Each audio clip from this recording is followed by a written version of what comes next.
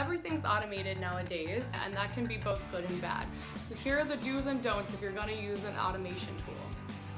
Do, use the follow option. It's just doing the manual work of following people you think would be interested in your product or service anyway.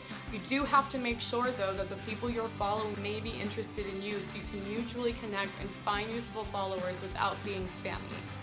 Don't automatic message people every time they follow you. Most people do not even have their real name as their username, so you get all of these automatic comments that start with Hi, Blue Biscuit Digital. And biggest do of all, continue to work on making your content the reason people are finding you, the reason people are following you. You have to continue to work to hold on to those people with solid content, a solid strategy, keep people coming back for more. So don't be afraid of automation, it is 2017, but don't take advantage of it either.